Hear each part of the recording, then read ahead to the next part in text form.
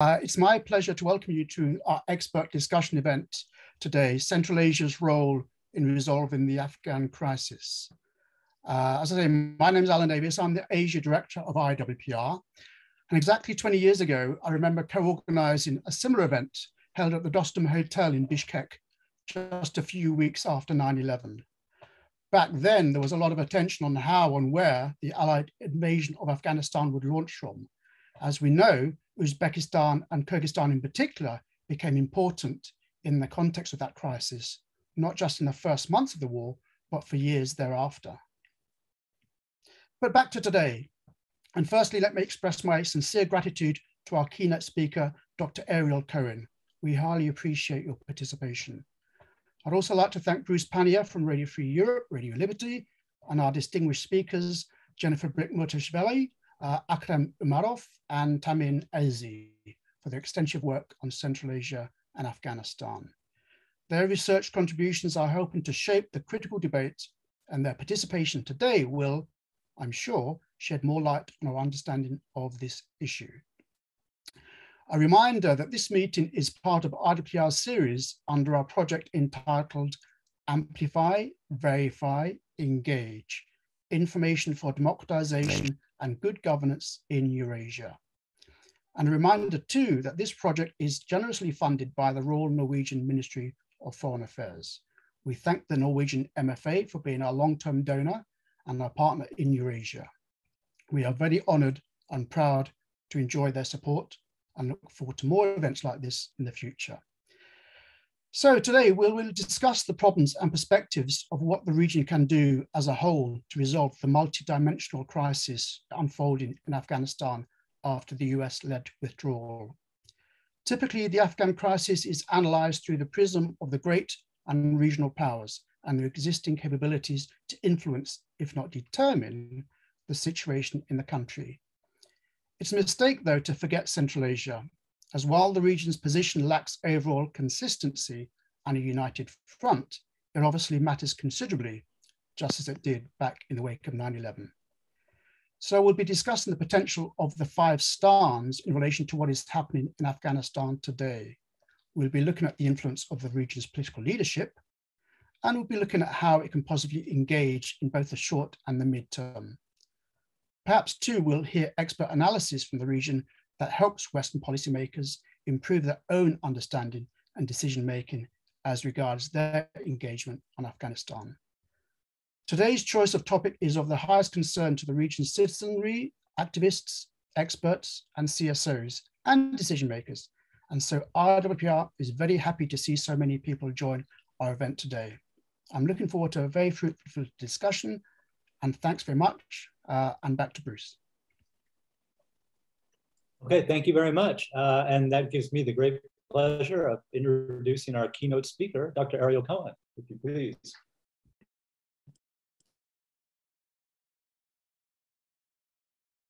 Unmute yourself, please, Dr. Cohen.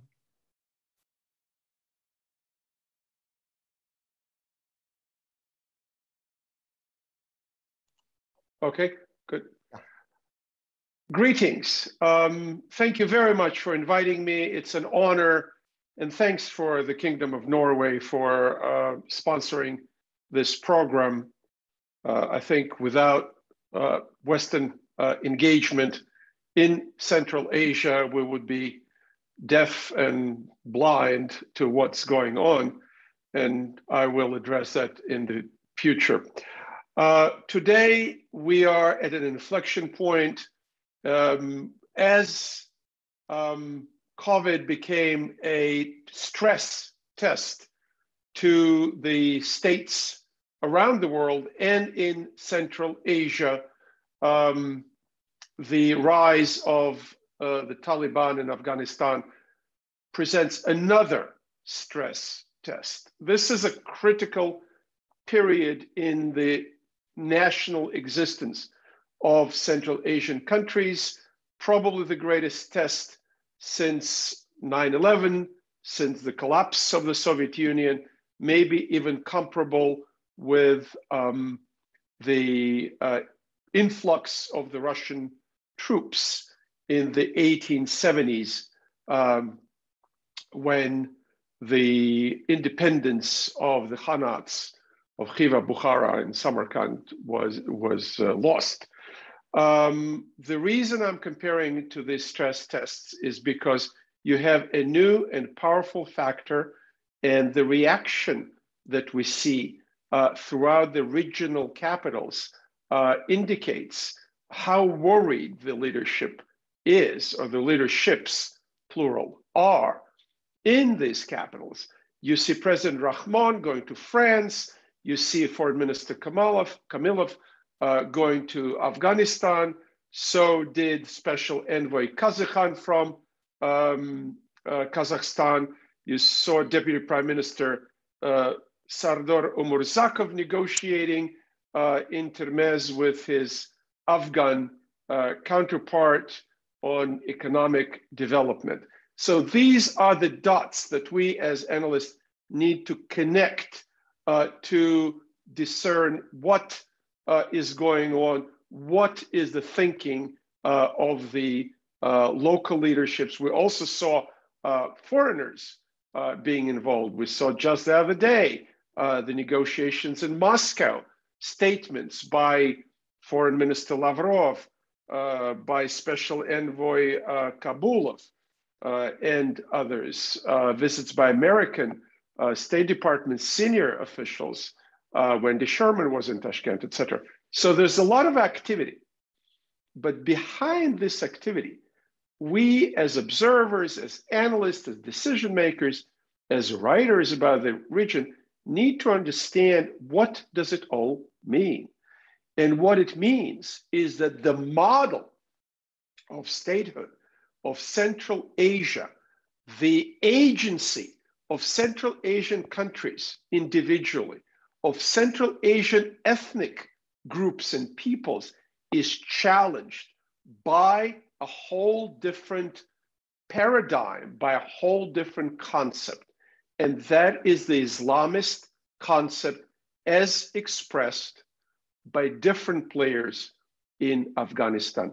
I stress by different players, not just by the Taliban as amorphous and non-centralized as it is, but also but, uh, by other organizations the Taliban harbors or tolerates or shelters on its territory.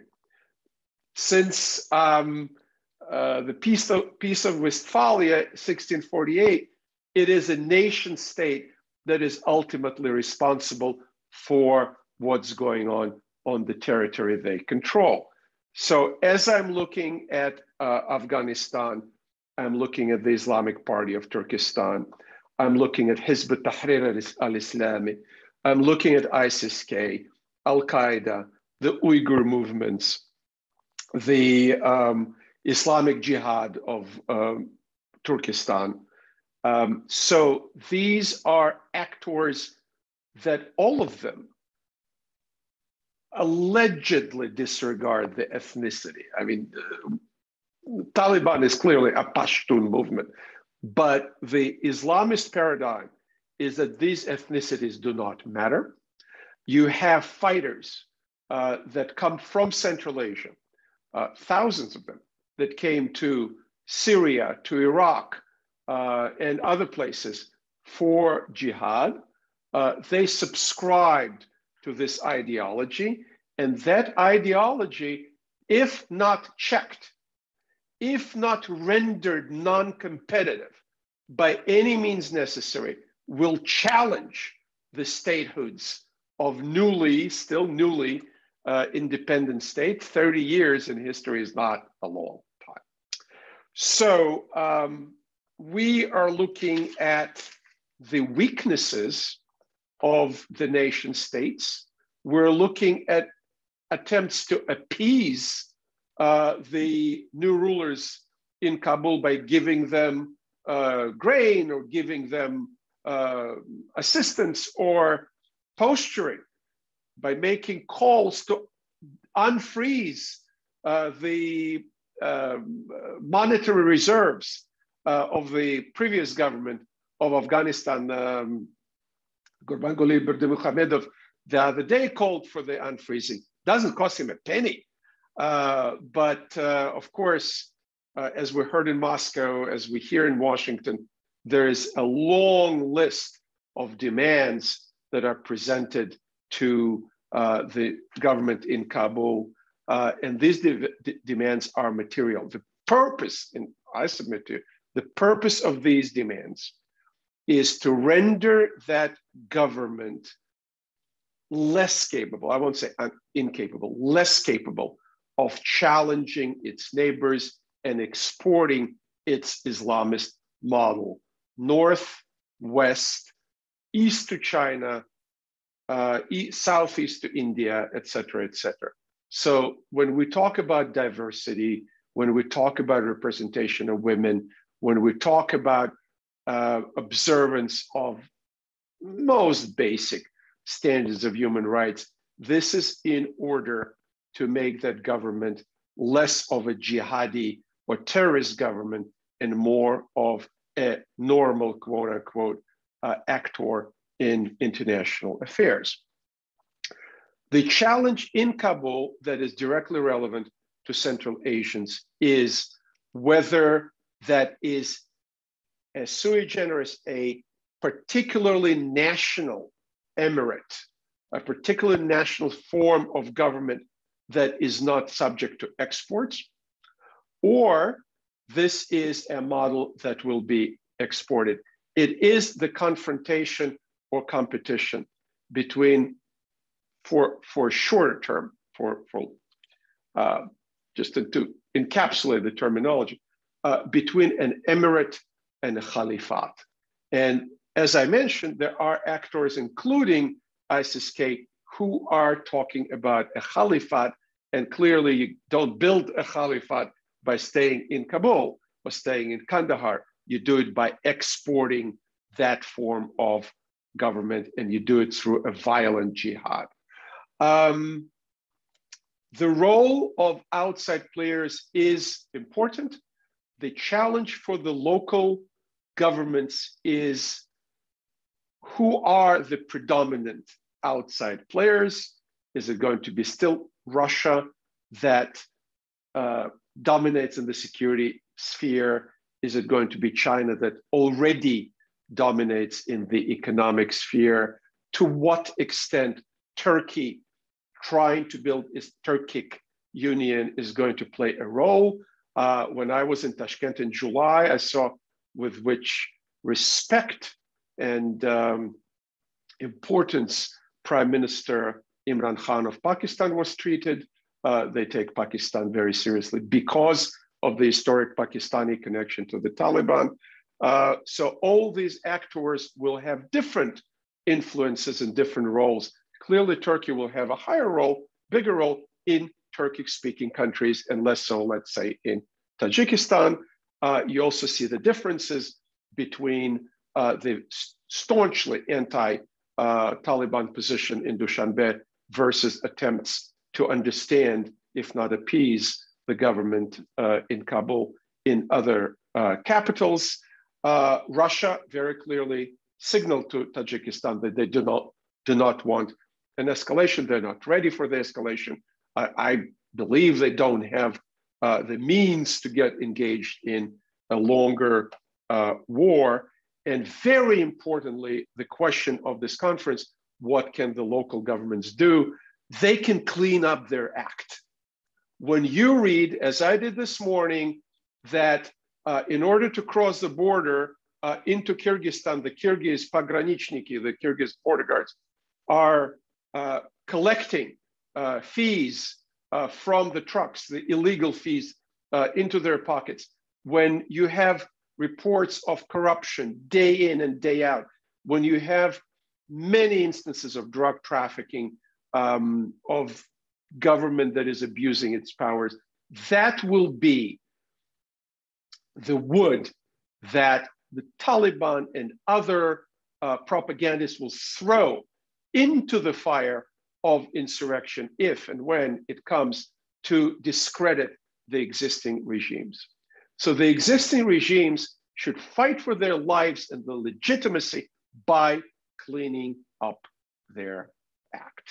Um, be it uh, in improving services, in improving education, in fully legitimizing the more secular models in comparison with Kabul, which are a complex legacy. We don't have time to go into that.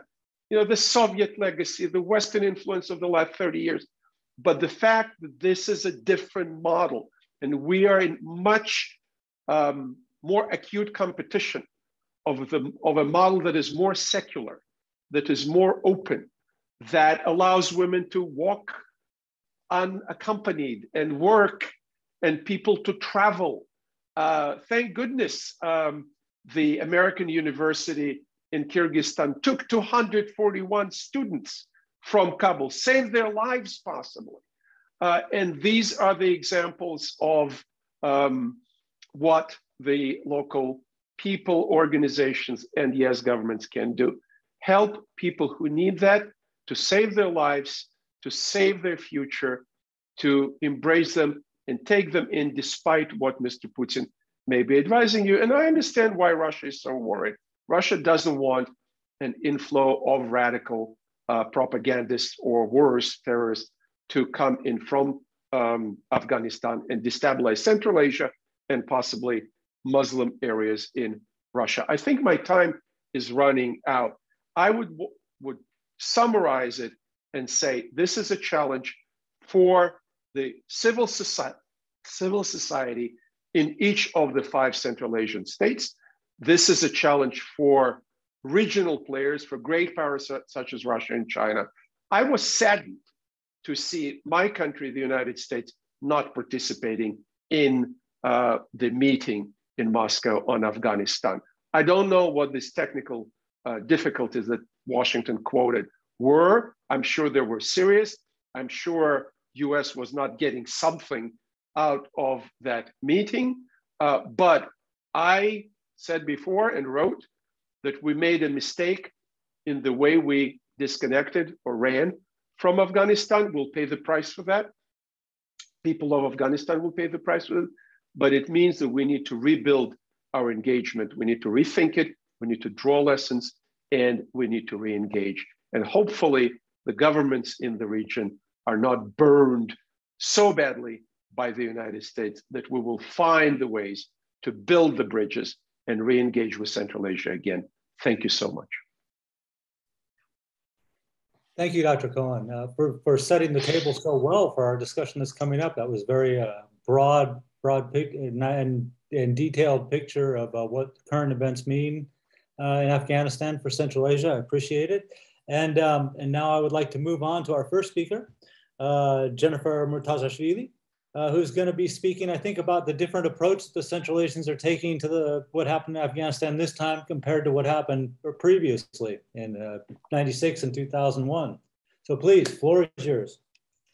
Uh, thank you very much, Bruce. It's a real honor uh, to be here. So good morning, good afternoon, good evening to everyone around the world.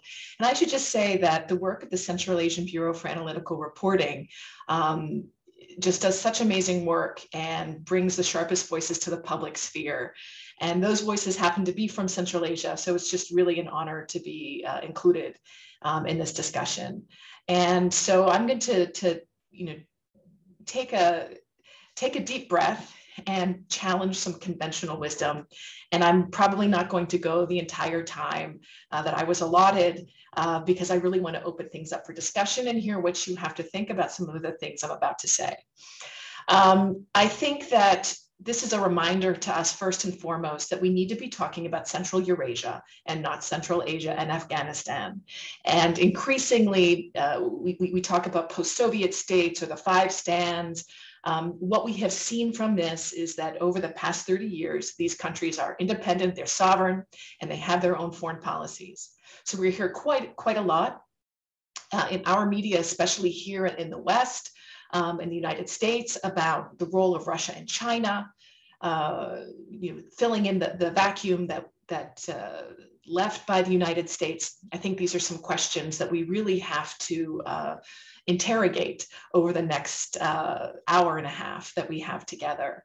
So I, think it's just a reminder that Afghanistan is really a key part of this region. It is not an appendage to it. It is central to it. And what I love about Af- Afghanistan uh, cultivated this term called the heart of Asia.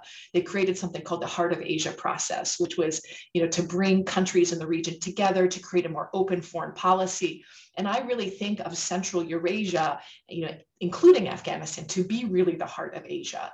And it is one region. Um, and so I hope this is really an opportunity for us to think about these countries together.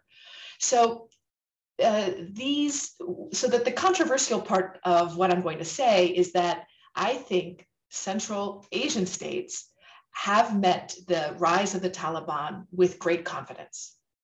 That we are hearing about the vulnerabilities that these countries face, the unexpected fall of the Taliban, uh, I'm sorry, the unexpected fall of the Ghani government, the rise of the Taliban, and the potential threats that this, uh, uh, you know, the, the, the, threats that this presents to Central Asian states. And I think from what we are seeing is very different from that, you know, predicted fear. I think what we're seeing is confidence. We're seeing that in the de-Americanization that has taken place in the region, that countries actually have a great deal of agency and Central Asian states are actually in a very good position to pursue their own interests. Yes, China has interests. Yes, Russia has interests. Yes, Pakistan has interests. But the states of Central Asia are in a very good position to play these powers off of one another and pursue their own self interests.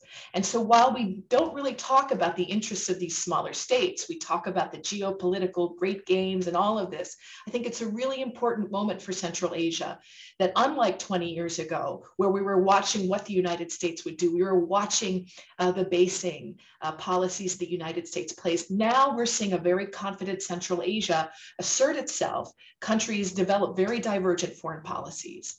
And so this confidence is actually vis-a-vis the Taliban. And I know this may sound surprising when we hear about uh, the rise of the Taliban, what this means. It's, it's, there's insecurity, there's instability. As Dr. Cohen said, that this is indeed a test for the states of Central Asia, but I think it's a test for which they are very prepared and for which I think they even anticipated. And what do I mean by that? So the war in Afghanistan has gone on for 20 years. And I think many of us were not paying attention to the day to day fighting that was taking place, to what was happening in the country. I think even the Central Asian uh, publics were not paying much attention to what was going on in Afghanistan from day to day. And what we saw in northern Afghanistan over the past six or seven years was quite calamitous. There was a lot of instability fighting in the region had skyrocketed. The central government had lost control of many parts of the North. And not only did the central government lose control over the North, it was engaged in, I think, what I would call sort of a two pronged war a war against the Taliban and the insurgents there, and the associated foreign militant groups that came along with the Taliban.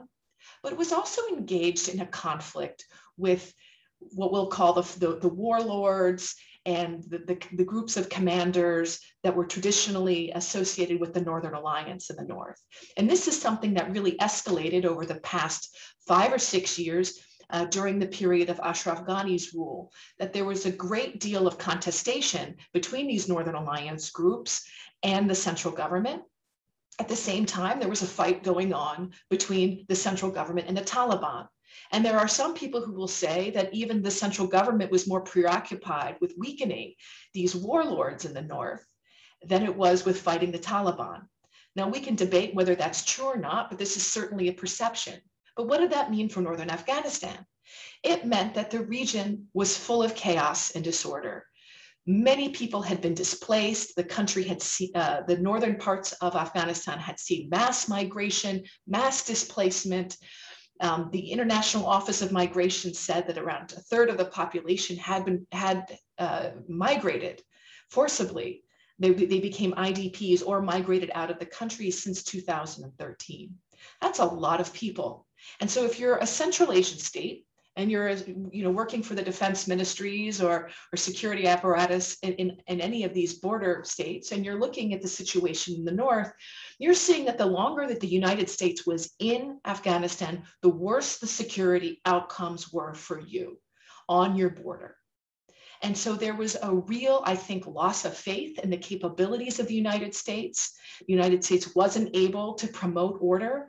Certainly, the Afghan government wasn't able to do this. And this bred, I think, a lot of mistrust between Kabul and the Central Asian states and the United States and some of the Central Asian states. And I don't mean sort of in a bad way, but just, I mean, this isn't a bad way, but in terms of the confidence that people had in the United States to get this job done, that the US, the presence of the United States was actually breeding insecurity. And so the longer the US was there, the worse these outcomes were.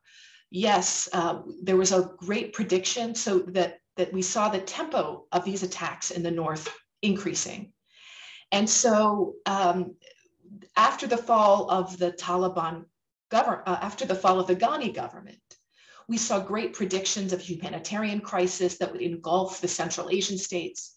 We haven't seen that. We have not seen refugee flows come to Central Asia. We saw predictions of the humanitarian crisis that would engulf the border. We haven't seen that yet. Um, I'm not sure we'll see the humanitarian uh, the refugee flows because Central Asia has never been a place in the imagination of Afghans who seek to migrate. Uh, there are well-trodden paths of migration and, and, and sadly Afghans have been forced to migrate for the past 40 years and there are well-established networks of migration and Central Asia just is not in the collective imagination as a place to go because the borders have been so closed. Now, as we see increasing hunger and increasing humanitarian crises inside of uh, Afghanistan, this may be the case, but I'm really skeptical that we'll begin to see this. Um, but what we are seeing is hugely divergent approaches from the frontline states.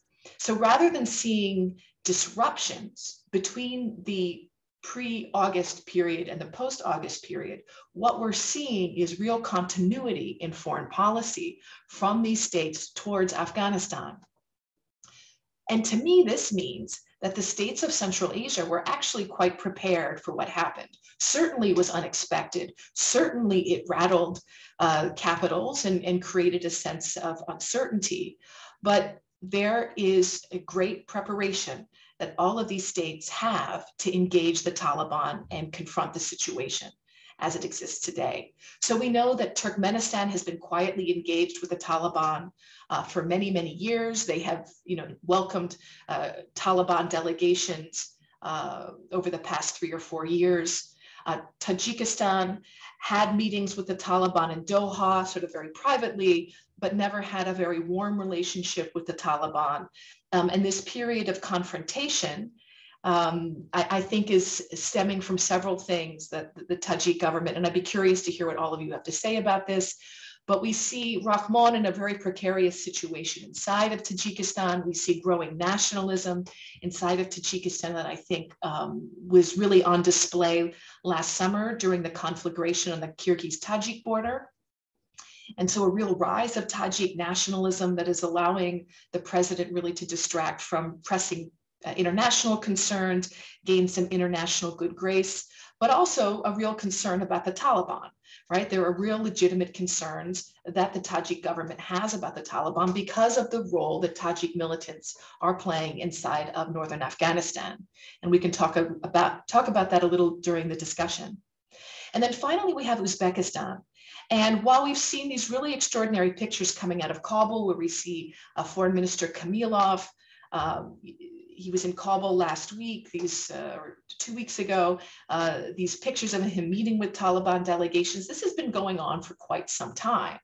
Uh, that Uzbekistan has had a very forward-leaning um, position with the Taliban and not afraid of negotiation. And in fact, Kamilov on his, I think it was on his Instagram page or Facebook page, he posted this picture of him with uh, Taliban officials from the 1990s.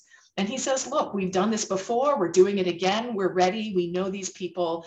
Um, but a key difference, I think, that we're seeing from 20 years ago is that there was a great deal of apprehension about the Taliban. There was great distrust of Pakistan, for example. President Karimov was very angry with Pakistan, was very outspoken about what he saw was Pakistan's role in uh, promoting the Taliban. And uh, during his, his rule, there was pretty, there was very little uh, cooperation between Afghanistan and uh, Uzbekistan. That has changed now. And uh, to me, when uh, over the past, uh, over this summer, uh, there was this meeting in Tashkent where all the South and Central, South Asian and Central Asian leaders were meeting.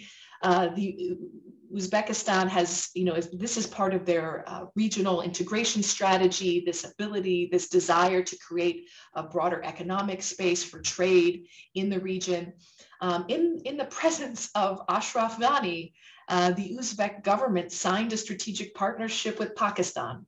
And when I saw that, that that strategic partnership was signed, to me, this was a sign that Uzbekistan was very comfortable with the Taliban taking power in Kabul. And that was something that happened in May or June, that conference took place. It was several months before the Taliban government. And to me, that was a huge signal that the United States that uh, people were no longer looking to the United States as a, as a guarantor of security. So just to, to wrap things up here, um, we, there is no security vacuum in this region. There are 7,000 Russian troops in Tajikistan. There's an increasingly strong Uzbek military. There's a Chinese military presence that we're hearing about. And China, of course, is not too far away. We're seeing the increasing agencies of Central Asian states in engaging with the Taliban, cultivating their own foreign policy. But we can see, especially if we look at Uzbekistan and Tajikistan, that they're not afraid uh, President Rahman has been very aggressive in his approach with the Taliban. Uzbekistan has also been confident in their own divergent strategy uh, towards the Taliban. So certainly uh, the militant groups are a risk. Uh, the Tajik and Uzbek militants in northern Afghanistan, those present a real opportunity for the Taliban uh, to hold the, the feet of the Central Asian states to the fire, in my opinion. Um, but they also present a real, a very real risk to the states of Central Asia. Small groups doesn't take a lot of people to create a lot of disruption. Um, so I think this is a very new time. I don't think we should see this region through necessarily through the lens of great power rivalries. We need to understand the policies of these countries on their own terms. Uh, this is not about the United States. It's not about Russia. It is not about China. It is about the agency and the confidence that these countries have in cultivating future relations with Afghanistan. Okay, great. Thank you very much, Jen. Um, a lot to think about there too. And I'll have a couple questions at the end, but I also want to remind uh, all our guests today that if you do have any questions, would you please put them in the chat box uh, and we'll get to those as fast as we can. And on that note, I'd also like to encourage the, the next couple of speakers to make sure you keep within your time limit so we can get to some questions too. And Akram uh, Umarov, who I, I, didn't get to say hello to before this started, uh, good to see you again. And I will now give the floor over to you. Thanks a lot. A good part of the day. I'm also very privileged uh, to be invited to, to this very interesting and timely event. So I'll try to be brief and divide my kind of small intervention in, in several blocks. So I think the previous speakers excellently covered the diversity and not true diversity, but some differences in approaches of uh, regional countries to the current situation in Afghanistan. So there is no much need uh, to stop on these issues a lot. Uh, but uh, just uh, to add a bit on this, why this happened, why out of five uh, Central Asian countries, four exactly kind of directly uh, engaging with Taliban and having relations with it. So it's more kind of based on that pragmatic approach and consideration of real politics, which is happening in, in this country. So they were not possibly willing to see this outcome, but this is a, uh, this is a result which we have now. And this is not because of the Central Asian countries' position, and we said not because of their, uh, their, their faults and difficulties. So this is something which were left for us as a burden, and we should deal with this considering our capacity and considering our existing um, existing uh, uh, conditions. So uh, this is more about uh, uh, it's a balance between opportunities from Afghanistan and potential threats. So considering all these factors, I think regional countries are building their uh, relations with Taliban uh, step by step and trying to interact with them to, in order to understand what can they do uh, in, in future. Of course, there are a bunch of issues which are on the agenda, the, the ones which we already mentioned, uh, the potential uh, expansion of terrorism. So this is not something completely new. We had seen this before in at the end of 1990 that some regional groups found uh, a, a, territory to to uh, to be to prepare to be uh, hosted in Afghanistan to have to use as a platform for attacks. So uh, the one or the drugs issue is still on the agenda, is still very important, but also the uncontrolled weaponry which were left after the withdrawal of uh, Western for forces and at this retraction of Afghan army. So we are talking about thousands of, hundreds thousands of weapons which were left uncontrolled and their fate is still unclear. Who are controlling them and what will be, what will happen with them? Uh, the government itself, yeah, we the regional countries are interacting with uh, Taliban, but still it's not very predictable. We can see a lot of internal divisions. We can see very diverse acts which are happening by which happening by the Taliban representatives. When the group of Taliban uh, representatives were in Moscow yesterday trying to persuade international community that they're moderate, that they're ready for uh, uh, the for the interaction with them, and they're asking for more uh, recognition. At the same time, Minister of Internal Affairs Haqqani had a meeting with the uh, with the families of Taliban victims who committed suicides in the past. And again, he uh, uh repeated his position that Taliban will use all possible, uh, all possible kind of acts in order to reach its its uh, objective. So this is kind of very symbolic act, having a meeting with them and trying to support them in this uh, situation. So it, it also demonstrates uh, that Taliban is internally very divided and still do not have a kind of united position how to, to interact with the outside world. So such meeting, having a such meeting in the circumstances when Taliban was seeking recognition as something very which will not kind of contribute to this uh, process, I think. And humanitarian and refugee crisis, I think this is the utmost uh, uh, should be of, of our utmost uh, importance and attention. This is something which is happening right now. Recognition of Taliban is something which we can maybe decide slightly later. But the things which are going in Afghanistan, the people are starving, the people are uh, in a very bad condition, and I think these are issues which where we should concentrate our efforts and provide humanitarian support uh, to the country as soon as possible. Uh, re regarding refugee crisis, uh, again, this is very uh, something very important for the region. There is a bit, uh, a lot of discussion now, and, and uh, among different Western experts and among different Western media that these refugees, in case of the flow of increase of flow of refugees, they should be hosted within the region. Yeah, and the and the countries, uh, the uh, the international community should provide support for the region to, to host these people.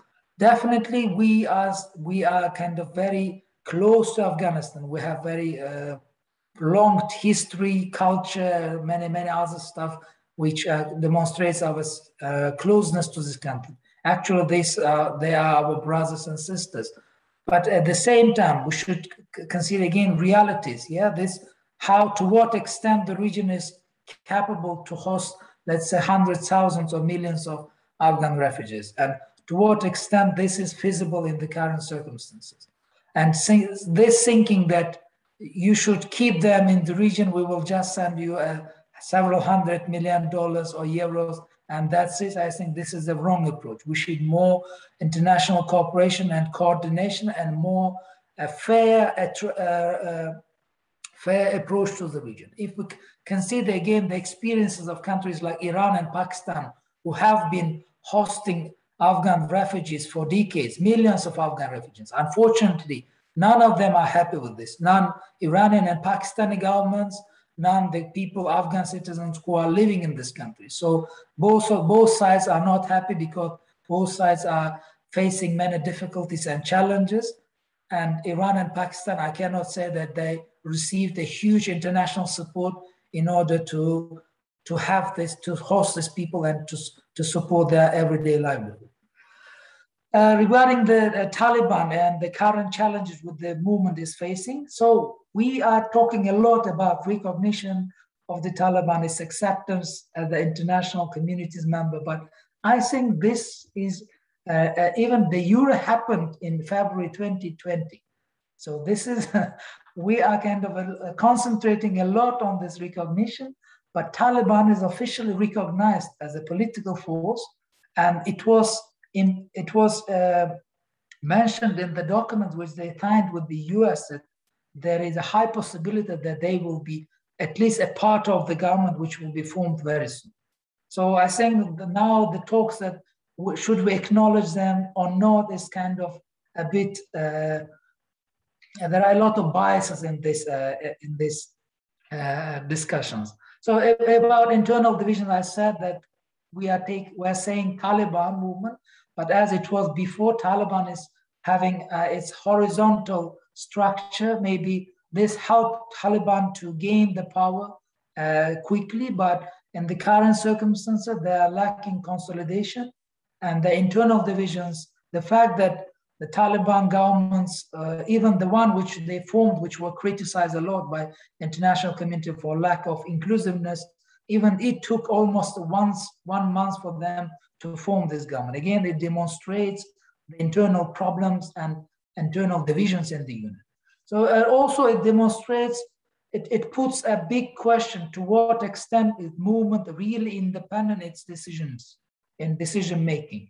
Who is the real decision maker? If we consider the fact that Pakistani government officials are intervening quite uh, frequently in the affairs and the, their representatives were in the, in the in Kabul in the days when the government was formed. So these are some signs that again that what, to what extent this movement is real decision making making should we directly interact with them or should we deal more with Pakistan in order to get to some important uh, outcomes. And of course, they are facing, because of this internal problem, they are facing difficulties to organize important public institutions and to provide uh, public services to its population. And uh, the, the, the, terroristic acts which happened in different parts of the country again demonstrate that they are also not capable to control the situation fully.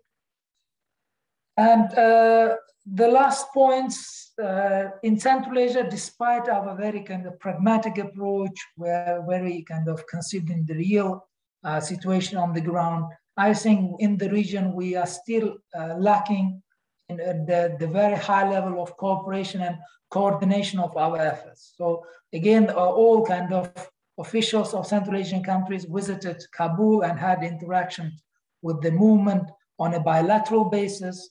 And uh, despite having a very good now platform of consultative meetings uh, between Central Asian countries, this uh, meeting was not uh, gathered after the after the fall of Ghani regime in, uh, in mid-August, and there were no kind of purely Central Asian meeting discussing all these potential challenges and threats. Of course, we had meetings of CSCO, CSTO, and many, many other kind of for, formats, Moscow format, which happened yesterday. But again, these are again are happening with the involvement of these powerful actors. Again, in order to demonstrate our agency, we should act more proactively and demonstrate that we as a region ready to have some more responsibility and we're ready to demonstrate our united position. Of course, we have internal misunderstandings, but I think that this the common understanding of what is happening in Afghanistan is more or less united. Even Tajikistan, despite having very harsh position on the current situation uh, regarding with Taliban, they are still continuing to provide electricity for Kabul and for the northern parts of uh, Afghanistan. So this is also a sign that uh, Tajikistan is ready to, to have some discussion with the current government.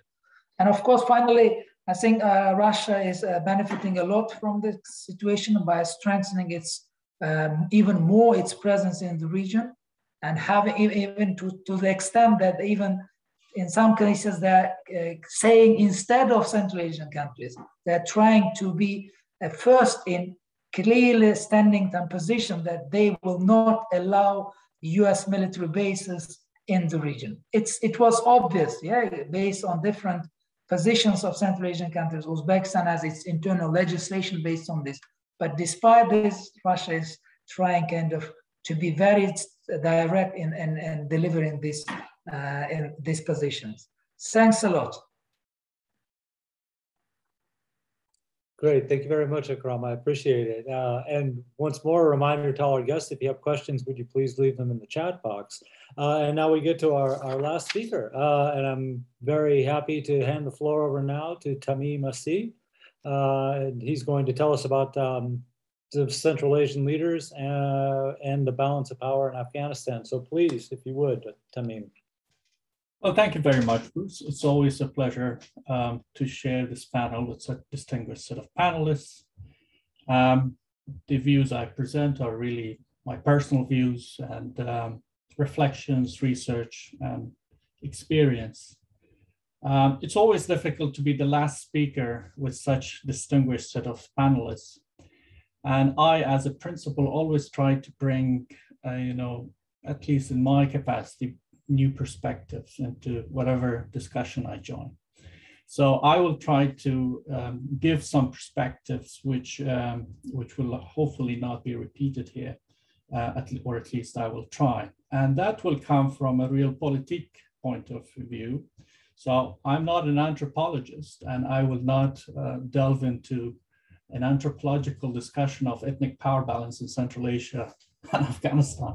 But what I would do is essentially look at how the ethnic power dynamics between Central Asia and Afghanistan um, really shapes things in Afghanistan and um, whether there is that good old Central Asia, you know, strong men that used to dictate things in Afghanistan, or at least took, you know, sides from um, uh, uh, of one faction against the other.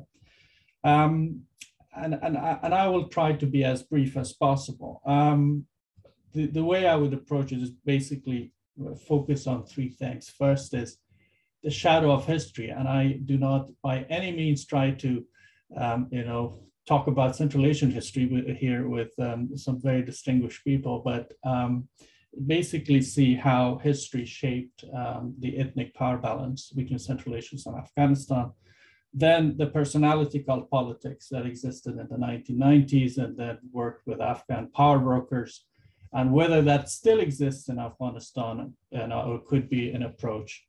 And then the, the, the differentiation, or rather the comparison of state to state relations versus people to people relationship, and then how ethnicity kind of uh, played a role there. So first, a few things. Um, Afghanistan is one of the most ethnically diverse countries in the world. Um, there are there are different estimates of 50 to 75 different ethnicities in Afghanistan. Um, uh, uh, the statistics and census is an issue. Um, the last time a proper statistics or census rather was undertaken in Afghanistan was during our king's time, and at that time it put, um, you know, I would call there, there's no um, absolute majority uh, in Afghanistan, 50 plus uh, ethnicity, which controls or, or has the population. Um, but if you look at it, uh, essentially the dominant or big minority, as I call it, the big minority dominant group are the Pashtuns, and then um, the other 54 plus ethnicities, um, Tajiks, Uzbeks, you know, and others uh, that are there. And then if you uh, put the, the population weight uh, of each of these ethnicities uh, into the political theater and their relationship with Central Asia, um, you, you, basically um, find out or you basically look into uh, one of the ways to look into the relationships um, is the patron-client relationship uh, from a security perspective, trade perspective, um, and, and, cultural relations perspective between Afghan ethnic groups and, and the Central Asian groups. Um, and that's the lens I would try to um, delve in here, um, uh, that how the Afghan Uzbeks interact with Uzbeks in Uzbekistan, how the Afghan Turkmens interacted with Turkmens in, in, in uh, Turkmenistan, um, um, and the same with Tajiks and others. Now, um, uh, as I mentioned, I will delve into this, from a security perspective. Uh, essentially, um, if you look at it historically, uh, this issue of sanctuary has been always a dilemma, both for Afghan ethnic groups as well as for Central Asian, now well, newly formed Central Asian groups of the previously the Khanates. The different dissident groups um, were given refuge or safe havens in one, um, in either in Afghanistan region or in the Central Asian uh, regions. And if you look at it from that perspective, um, right now uh, in Afghanistan, uh, the Central Asians um, accept the, the basic fear of a um, Islamic jihadist uh, group emerging to threaten their nationalism, uh, they really don't have um, a favor. Um, you uh, you see, you know, the Tajik uh, president uh, uh, Emomali Rahmonov um, trying to play that strongman, big, you know, patron politics, but um, he lacks the, the financial capacity, the political capacity, and the military acumen uh, to be able to play that role for the Tajiks in Afghanistan. Um, if you look at Uzbeks from that client-patron uh, relationship, um, the government of Uzbekistan, they have a very reformist government now. I mean, Islam Karimov is no longer there to send advisors and financial and military support to Dostum uh, and then uh, basically essentially uh, babysit him um, on, on various um, um, um political military dealings. The Turkmen president, uh, Turkmenistan's president, he is really focused uh, on ensuring um, that you know his country diversifies, as you all know, his uh, the economic base, but also the transfer of power to his son. So Afghanistan, um, for him, uh, other than a transit route, um, there's no particular group that the Turkmen president would uh, bet on. And, and kind of, um, um, in spite of you know its neutrality foreign policy, the, neutrality policy of it, uh, but the, uh, there's no um, particular favorites that Turkmenistan has. Same go goes for Kazakhstan and, and Kyrgyzstan. Um, um, so essentially, um, I think what they are really afraid, um, a lot of these Central Asians, uh, if you look at it from that historical safe haven, dissidents, um, uh, refuge uh, lens, um, uh, uh, they are afraid of a new generation of Islamist nationalist um, Tajiks or Uzbek, Uzbeks emerging uh, that could threaten uh, their national security.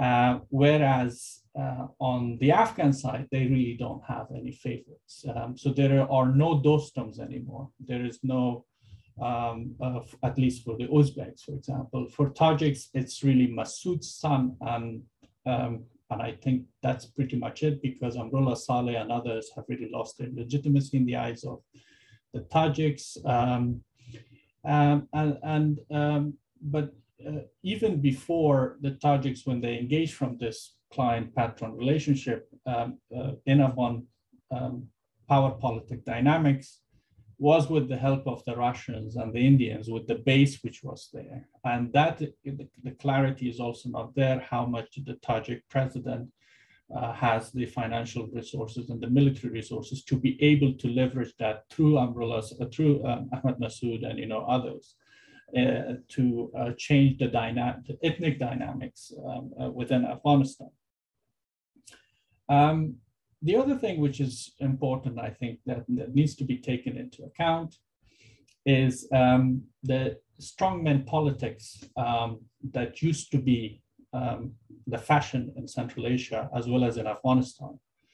Um, except maybe President uh, Emomali Rahmonov, uh, everybody else um, has no interest um, right now um, to getting involved in that strongman politics in Afghanistan. Um, and that is why one, that's one of the reasons they're engaging with the Taliban right now. I think one of the things that a lot of us should really watch for is the new generation of Uzbeks who are fighting under the banner of the Taliban. And one of the interesting cases for me is the new Northern Corps commander of the Taliban. Uh, he's an Uzbek. He fought um, uh, against um, Dostum and Dostum forces. He is sitting at Dostum's house right, right now. I mean, his base is there. And um, um relatively young in his late 30s. And he is inspiring um, a whole new generation of Uzbeks and um, and Turkmens and, and others uh, in northern Afghanistan that you could um, um, basically break this uh, taboo of, of, of the, the invincibility of Dostum and, and others. So, um, uh, and I'm sorry to give the example of Dostum, but it's, it's the same true with Hazaras. Uh, there are Taliban Hazaras uh, uh, who are um, um, who have fought in areas where previously Mohaqiq and Khalili used to fight. There is um, the famous Qari Fasiuddin from Badakhshan, who is now the chief of army staff of the Taliban. He is a Tajik, um, and um, he, he, is being counterbalanced as this Islamist nationalist, as opposed to Amrullah Saleh or Masood, somebody who could defy them, but under the Taliban brand. I think this is something that the Central Asians are very, at least their security institutions are very worried about, that um, this sort of new idols and examples in the battlefield could inspire um, similar sort of characters in Central Asia, in spite of Russian presence, in spite of um, you know Chinese drone base in Tajikistan, in spite of other things because they could draw inspirations and it has it is already um, um, drawing inspirations uh, as we see it. The other thing which is important and, and is not not much attention is being paid uh, paid to it is this increasing um, military suicide uh, squads that the Taliban are forming of Tajiks and Uzbeks and then deploying them in the borders of these countries.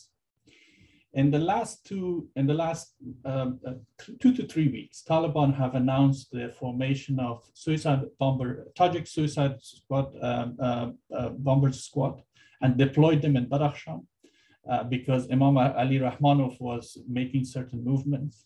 And then I'm now told that they are also uh, forming uh, Uzbek, um, similar Uzbek military squads and might deploy them in, in Uzbek border. Now, that could those could be posturing, um, but at the same time, we see how Taliban, an Islamic ideological umbrella, is using the ethnic card and instrumentalizing ethnicity for its global or regional jihadist um, um, um, um uh, uh, objectives. Now, um, the other perspective which I wanted to give, and then I will I'll probably stop here, um, and, and then maybe we could discuss things in more detail later. It is that all politics for Central Asian states and all security for Central Asian states, when it comes to Afghanistan, is local. Um, we hear a lot of these meetings of this foreign minister of this Central Asian state visited this place, or the chairman of the National Security Council of that foreign uh, of that Central Asian state visited Kabul or met with Taliban representatives in Qatar or Doha.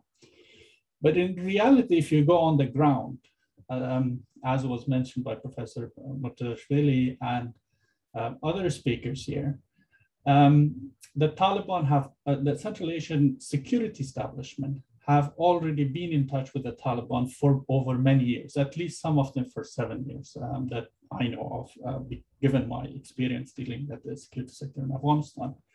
And they have been patronizing, supporting local power brokers along their borders, uh, whether in Western Afghanistan, in Northern Afghanistan, um, in, in, any parts of uh, there, and through support, through giving them weapons, through giving them um, energy, free gas, um, you know, through giving them uh, other incentives and, and basically patronizing them, not only to secure the border uh, or serve as some sort of a deterrence policy against other uh, players which could threaten their security, but at the same time, uh, to use them as buffer uh, method, uh, as a buffer um, uh, mechanism to ensure um, that not only their border is secure, but the local um, power brokers is in a way in their uh, favor um, and, and, and secures um, their border. Now, Taliban, through deploying these different forces, which are of that particular ethnicity uh, uh, in the border, in the border area of Central Asian states, is actually trying to change that dynamic. And Taliban, in a quiet way, is also signaling to the Central Asian security establishment that if you really don't listen to us, um, you are in for trouble. So they're leveraging that, uh, these forces, um, uh, or the, the, threat of insecurity and, and instability at their borders um, as a way, um, as hardball diplomacy, if I could put it that way. Um, I, and I will um, conclude um, uh, uh, briefly um, that I think it's too early to call the shot when it comes to the Central Asian uh, and Afghanistan um, ethnic and security dynamics. Um, a lot we are we are in for a for a critical um, juncture in history, uh, as as Dr. Ariel Cohen mentioned. Uh, which the likes of it we might not see, uh, or we have we probably have seen it once or twice in the entire history. Um, and uh, the new model of jihadist nationalist power, which emerged in Afghanistan, could inspire and is already inspiring uh, jihadist groups and extremist uh, Islamist groups to see if they could replicate that in the Fergana Valley um, and in Central Asian states and, um, and uh, even beyond uh, in Russia. Um, and Taliban are nurturing these people. Taliban are not taking action um, like, you know, um, uh, previously when the Basmachi or the, or the Dushman, you know, uh, uh, eras. Taliban are actually nurturing them and using them as a leverage. And they still harbor the uh, dream of establishing a Central Asian mini Khilafat, if nothing else. Thank you. Okay, great. Thanks, Tamim. Um, I have the honor of getting to ask the first question. Unfortunately, someone else is asking nearly an identical question right now. So uh, this one is for Dr. Cohen and, possibly Akram to start with, and we have one for Tamim coming up. Um, you know, in a lot of ways, you could say the developments in the last 20 years have really been a success story in, in linking Central Asia to Afghanistan, railroads, electrical power, you know, power lines, things like that. Um, you know, and now they're in a situation where there's a, it's kind of use it or lose it at this point. Um, so, I mean, given the new realities, 20 years ago, it was easy to decouple from Afghanistan. There weren't very many links. But in the last 20 years, a lot of that has been, a lot of infrastructure has been developed. Um, you know, do you think that helps to account for the new approach that some of the Central Asian governments are taking, particularly Uzbekistan, because most of the land transportation uh, all, in fact, I think all of it ends up going through Uzbekistan and into Afghanistan, except for small roads. So, uh, doesn't this weigh on the minds of Central Asian leaders when they're trying to formulate a, a policy toward Afghanistan? What happened? That they are in fact connected when they were not before.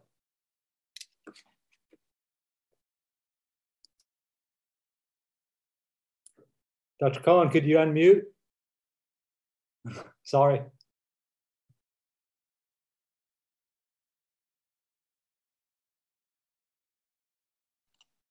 Apologies, yes. Uh, thank you for the excellent question. This is something I work on a lot, and uh, it is of a great interest uh, for companies, for the US government, for Chinese government, etc. And herein lies the rub. Does the Taliban leadership, can, can it reformat the way it thinks? can it shift from being a militant and military leadership and become a business leadership? Praise the Lord, Alhamdulillah, in Afghanistan, every leader is a businessman and a military leader. So we hope that they will shift gears and become business leaders and listen to what companies are saying or governments are saying that the people of Afghanistan can improve their livelihood. They can benefit from billions of dollars in tariffs uh, they can get jobs, uh, but you cannot, uh, you know, have your cake uh, and eat it too. You cannot have both. You're either a, a state builder or you are a warrior. And um, what Tamim Asey said is absolutely true. The Taliban and others, it's not just the Taliban, are building tools that have military implications and military capacity. And unfortunately, Jen Murtazashvili left, but she, when she's telling me, oh, uh, the, the regional leaderships uh, are secure and um, there's 7,000 Russian troops there. There were 100,000 of American troops. Little good did it do to us and to the people of Afghanistan. And my message is if you do not build a military, special forces, intelligence apparatus of equal or higher value to what, to what the Taliban can deploy, your best ideas about the railroad and the electric um, high voltage lines uh, and the uh, famous uh, never ending project of the uh, TAPI, uh, Tajikistan, Afghanistan, Pakistan, India gas pipeline from Tajikistan. It will be a pipe dream. You need to deter the Talib leadership so that they know if they try to mess with you, they and their families will pay the price. The price will be too high for them to go the way of military engagement, and therefore they will have to seriously commit themselves to railroads, to high voltage electricity, uh, to regular roads, work with the Chinese. Unfortunately, Americans are out now. Work maybe with the Europeans, of course, with the Uzbeks and with the others, to build a whole new Afghanistan. And if you ask me, that is exactly the wrong leadership to accomplish that goal. Sorry about that. Great, thank you. Uh, Kram, I don't see you on the screen, but I hope you're there. Um, yeah, your take on that. I mean, is it are we too too far along here for the Uzbek government to take any other stance than the one it has been taking of engagement with the Taliban, considering how closely connected and how much better connected they are right now?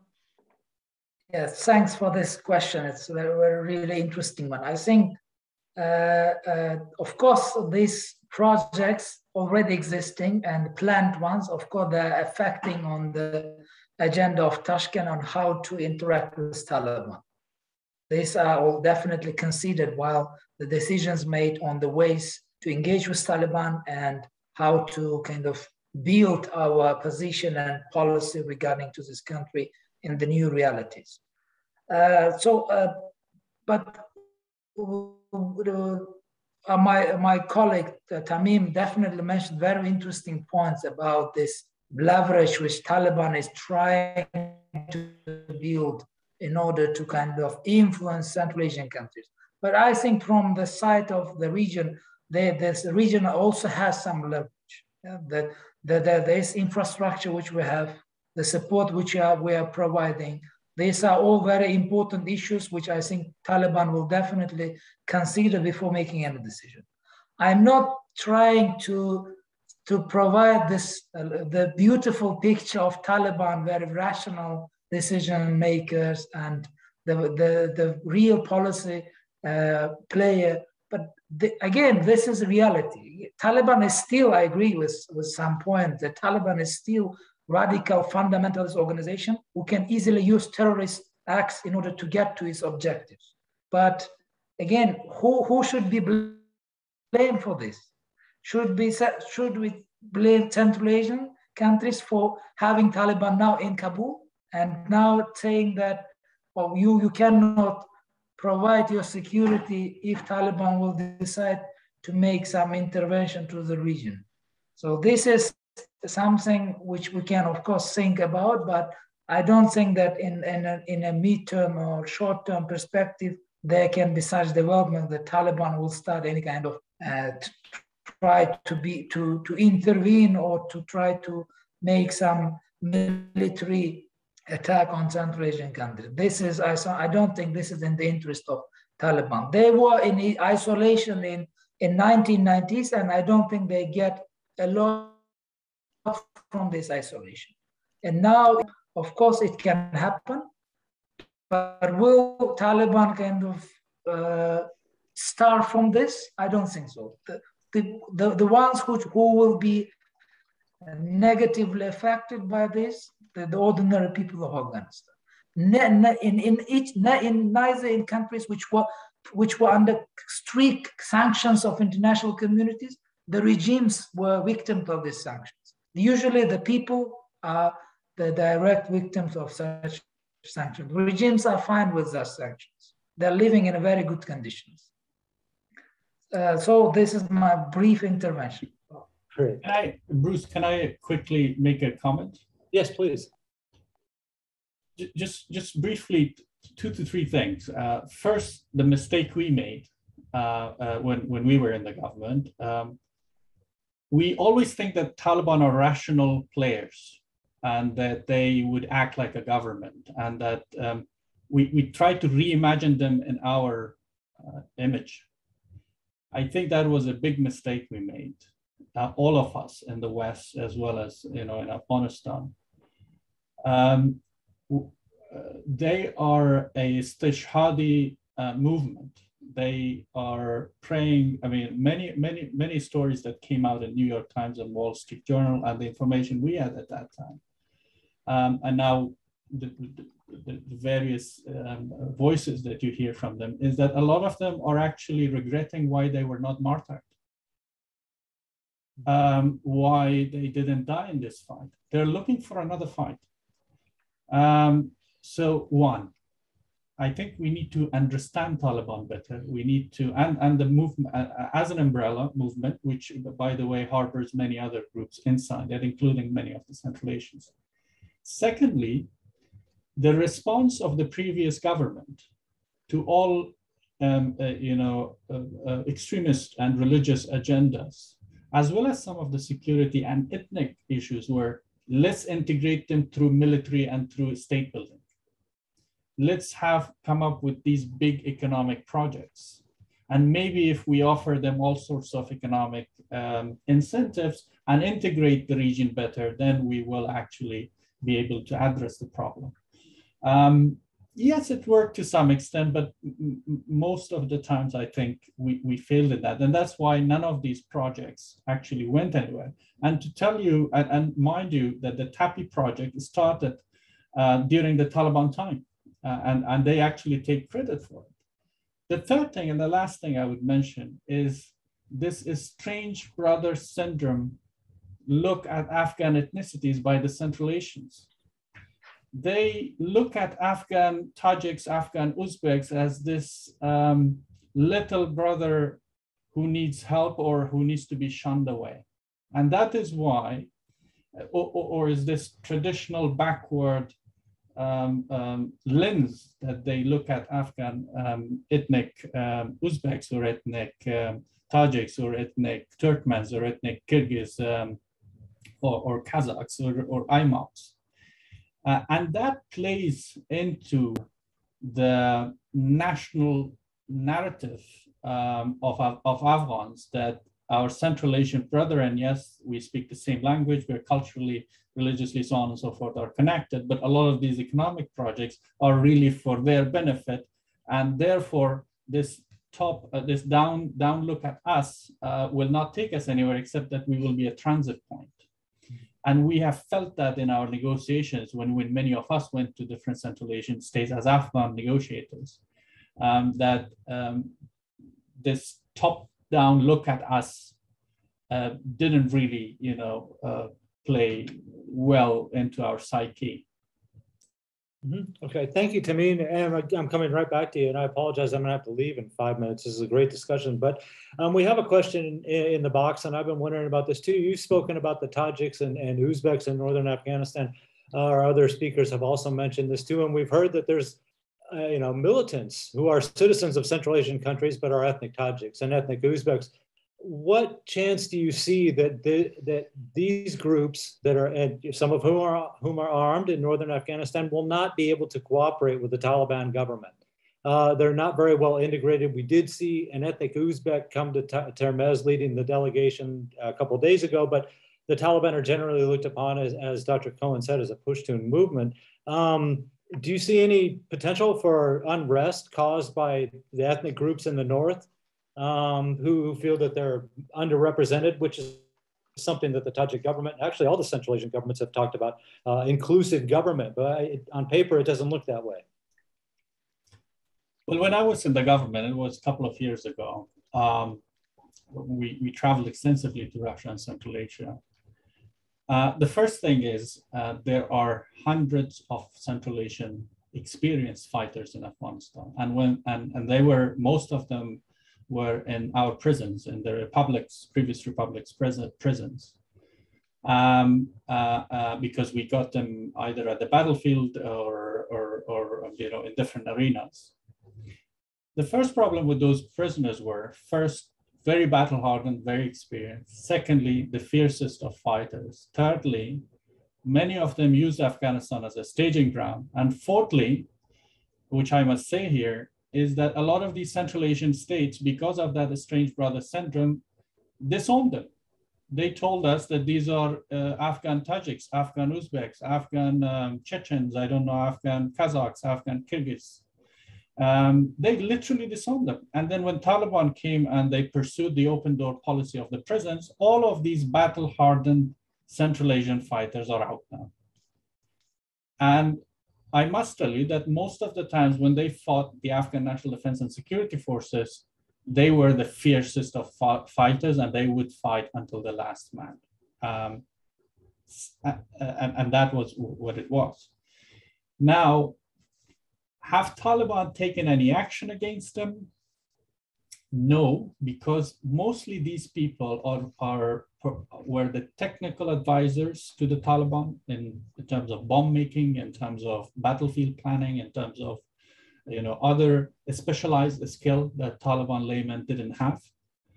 Secondly, they were also mediators between various Taliban fighting factions. So whenever the Afghans fought, it was uh, depending on which ethnicity, uh, one of these Central Asian or Arabs used to come and mediate between the Taliban local factions, and then the, the, the fight would be over. Um, so that symbiotic relationship with mutual dependency, um, and plus now that the victory is secured, will make it very hard for the Taliban to take action against these people who actually helped them um, to get to victory. Now, um, I think the least or, or the best we could expect out of the Taliban in terms of actions against Central Asian fighters is a code of conduct because that is what they're doing with TTP. That that's what they will do with the IMU. That's what they will do with Ansarullah of Tajikistan, you know, and and and dozen other groups which which are operating or foreign fighters which are operating under their umbrella. Is that they would go and tell the Central Asian states, we will okay, fine, uh, these people we will ensure will not attack you. We can give you a guarantee. And then a code of conduct, a two-pager will be issued will be issued to them and basically say, okay, you need to move out of the borders of, of Tajikistan or, or Uzbekistan and come live in Kabul or come live in Logar or, or in Wardak. And then uh, you need to follow these guidelines. But no um, military or, or, or, security action would be taken against them because that would create a civil war within the Taliban of foreign fighters against the local fighters, which is a, a jihadi fratricide, a, jihadi cannibalism in a way uh, uh, uh that will start. And, and then ISIS will use that. Uh, right now, we see a lot of the northern commanders um, of, of Taliban, as well as some of the um, Central Asian um, terror groups joining ISIS because they consider Taliban now as less of a Muslim, and um, that they are uh, that they made this deal with the Americans, and this transition from a militia to a government will cost a lot for the Taliban because now they have to start delivering rule of law and services and start taking action against these people. And then when they start taking even minimalistic action, it will fill up the, uh, uh, the, the, the, the, ranks of uh, Daesh. And that's why you see Daesh increasingly, you know, being active in Afghanistan. Okay, great. And with that, I'm afraid I have to go, but I'm going to turn it over to, to Abakhon Sultan, Sultonazarov. Uh, I appreciate it very much, and I wish you all a very good day and, and good weekend. Abakhon. Uh, thank you very much, Bruce. For, much appreciated. Uh, let's uh, move on. Uh, we have uh, one. I have a two finger, um, uh, Abakhon, if I can add something to what Tamim said before. Can I? Yes, please, Dr. Okay. Um, when the US government took its decision in 2006 to allow uh, elections in Gaza, and the Palestinian Authority, the Israeli government, Egypt, and others warned the US don't do that. If you do that, Hamas will take over. And US government said, we're in favor of democracy. And Hamas, once it comes and gets elected, if it gets elected, they will worry about the potholes, filling the potholes on the road, running the uh, water supply, running the electric system, et cetera, et cetera. And somebody called it the pothole theory of governance. Ladies and gentlemen, this was 14, 15 years ago. I have news for you. The pothole theory of governance doesn't work so well. The mentality of a fighter, be it Hamas, be it Taliban, be it I, Hamas is the Ikhwan, they're Muslim Brotherhood, they're, they wear suits. They have college degrees. A lot of them are engineers, and they still don't fill the potholes. They would rather build the Qassam rockets and launch them on Israeli villages and towns and kill Arabs and Jews. Right? Still, in Gaza, you have Hamas that comes to agreements with Egyptians or with the Israelis, ceasefires, whatever, and you have Islamic Jihad. And there is that friction between a radical and ultra radical uh, Islamist group. And I'm afraid that number one, we'll see another confirmation how the pothole theory of governance will not work because to build that TAPI pipeline, to build that high voltage um, electricity line, to extend the railroad like our Uzbek friends want from Mazari to Kabul to Peshawar to Gwadar. You need engineers. You need business managers with MBAs. You need people who understand business of building, not business of killing. And I just don't see the personnel for that. Uh, and yes, we will see friction between the equivalent of Hamas in this case, the Taliban, and the Islamic Jihad, in this case, Islamic Jihad, or uh, ISIS, or um, some other ultra radical group. And yes, they'll point fingers at each other. I love the term uh, that Tamim made, the uh, jihadi cannibalism. We will see that. But that is a sad, sad story for the people of Afghanistan. Thank you very much, Dr. Cohen. There is a question from, uh, mm, hold on, please. Francesco, yeah, Francesco Olmos. She's asking, to what extent do the speakers think that the economic and connectivity projects like electricity, railway, uh, gas pipeline are driving the approach of the Central Asian countries in regards to Afghanistan? Dr. Cohen, maybe you would start and then I would ask uh, Dr. Umarov to continue. Uh, yes, and I have to be brief because we are out of time and I have another appointment to run to. Um, if the question is, can, can you repeat the question again? Uh, the question is that to what extent do the speakers think that the economic and connectivity projects like electricity, railway, gas pipeline, are driving the approach of the Central Asian countries in regards to Afghanistan? I think that for Uzbekistan, I was in Tashkent in July, talked to very senior people. Uh, they would love to have it. Uh, the Chinese would love to build that um, uh, corridor uh, to the Indian Ocean because it allows them uh, to put a chokehold around India through Afghanistan and Pakistan. Uh, so there are powerful players who are interested in that. However, I think what drives the policy of the Central Asian governments is engagement, is understanding, is building relationships, maybe building uh, some ways to find informal arrangements, shall we say, uh, with the leaders in Kabul, but lacking the military and security and intelligence dimension, they will be at a disadvantage. So if they ask me, which they don't, but if they ask me, I say, yeah, sure. Engage them, tell them that how wonderful that uh, railroad is going to be, how terrific the pipeline is going to be. Look, Afghanistan doesn't have enough power. Pakistan doesn't have enough power. Build the pipeline from Turkmenistan, diversify for Turkmenistan where it can ship gas because now they're dependent on China. Russia has too much gas. Russia is not interested in Turkmen gas.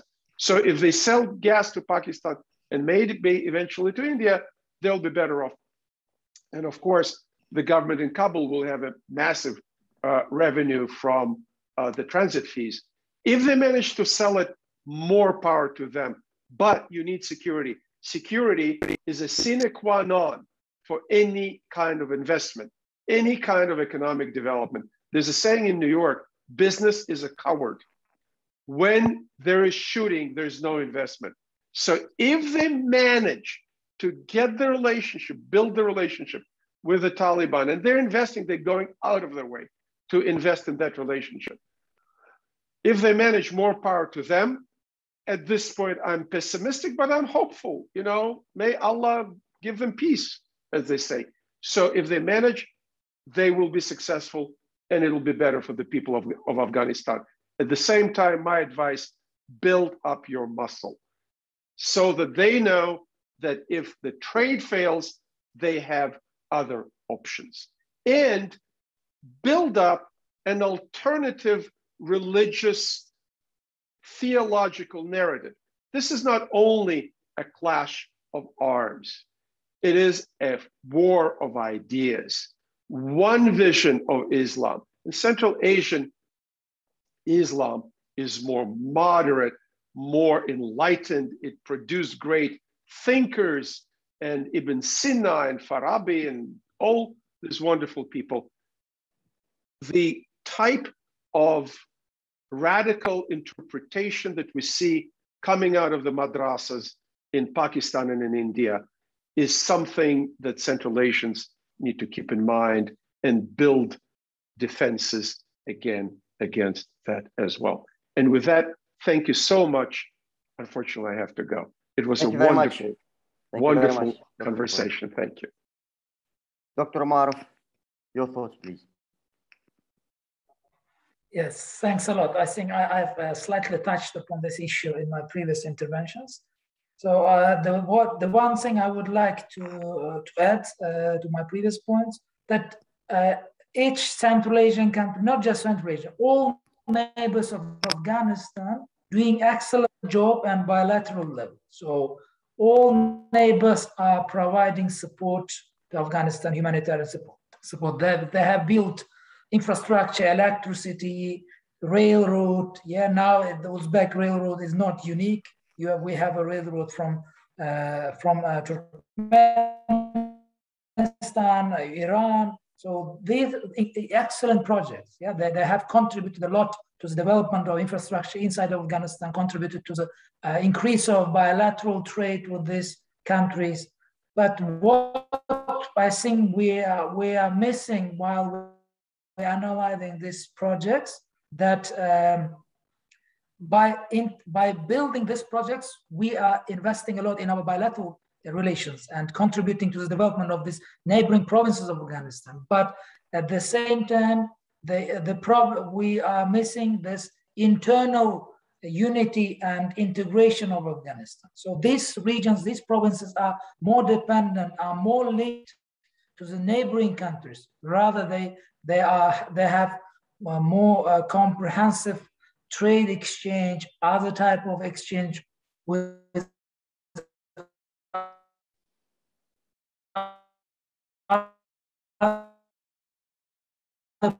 provinces of Afghanistan. So if there is no economic integration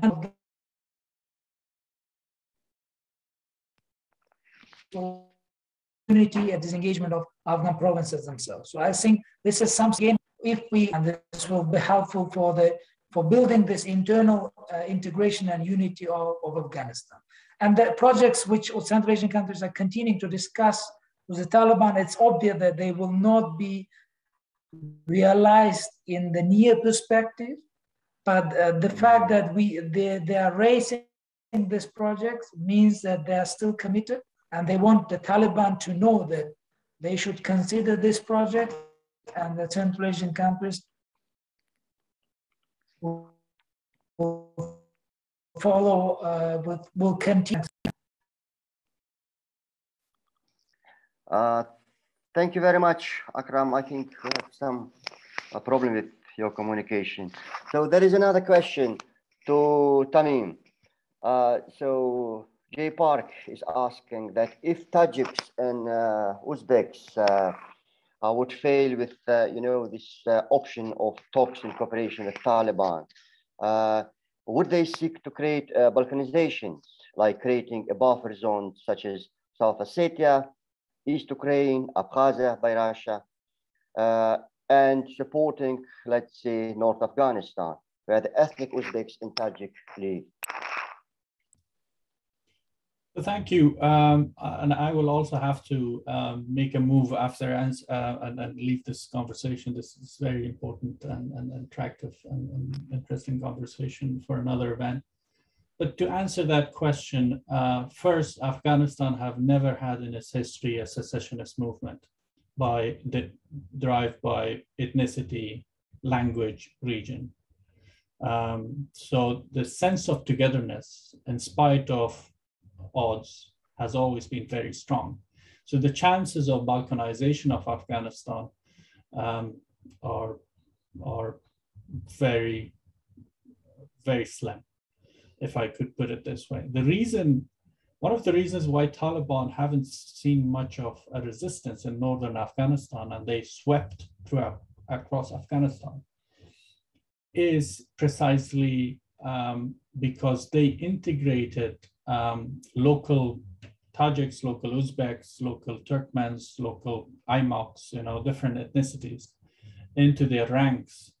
And they use religion as an organizing principle. So it's not really ethnicity that brings Taliban together. Yes, they're predominantly Pashtuns.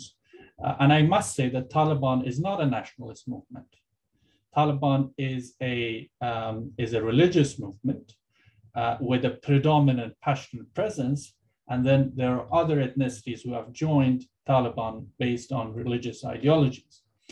Pakistan have been using the religious card against Afghan nationalism, um, and it seems to have, uh, you know, in a way prevailed. Um, and you see that the Central Asians are, on the other hand, against, you know, a religious extremist derive in Afghanistan because that would create instability for them. And there you see them at odds, but that would not lead to a balkanization or secessionist movements in Afghanistan. And this is not the first time in Afghan history when Afghanistan has been at this critical juncture. We have had dozens of these episodes, and every time Afghanistan, everybody said Afghanistan could disintegrate or Afghanistan could, uh, you know, go towards uh, frictions based uh, on, on ethnic lines or you know on, on regional lines. But it never happened because of that strong sense of togetherness. Um, in the entire history of afghanistan if you look at it and it's a long history um, we have never had um, credible and when i say credible and uh, a, with a critical mass movement of secessionist movements or you know, people who um, who, who would uh, um, you know who'd like uh, division along ethnic and, and, and religious lines. Uh, the problem is uh, that the, the underlying driver of the conflict in Afghanistan, unlike Balkan and other places, well, I shouldn't be saying that unlike Balkans because it, it also had lots of foreign, um, you know, um, inter interventions. You had essentially in Afghanistan, it's not a civil war, it's a proxy geopolitical war with foreign enable, foreign sponsors or foreign external donors and internal enablers or hands. And, and that is what is being played out um, uh, based on, on religious and, uh, religious cards, uh, on religious cards. And ethnicity has not been a very much strong driver of the conflict in Afghanistan. It has been an underlying factor, oftentimes used as a mobilizing uh, factor for elites and politicians. Um, but it seems that the, the, religious card have overtaken and, and they're now uh, in a more you know, predominant role. Thank you very much. Uh, you know, Akram, Tamim, we have last question, uh, very short answer, and then uh, we'll close this uh, great event. So there is a question from Anna asking that despite mentioning differences among Central Asia states regarding the Taliban, is there any consensus or, I mean, implemented strategy on uh, groups such as ISIS, Khorasan, and other independent radical actors, besides relying on the capacity of Kabul uh, to tame them. Thank you.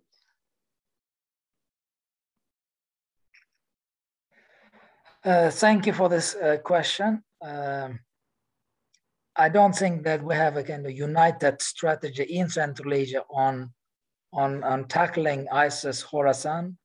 And of course, this is something which, which is quite often discussed on different level of meetings. But uh, because of very kind of very initial stage of enhancing regional cooperation. I think we do we haven't reached yet to the stage to have a regional strategy on countering uh, this kind of uh, organizations. But I think there is a, uh, some uh, united uh, approach within the other bigger international organizations like Shanghai Cooperation Organization, yeah, which has its regional anti-terrorist structure, which is based in Tashkent.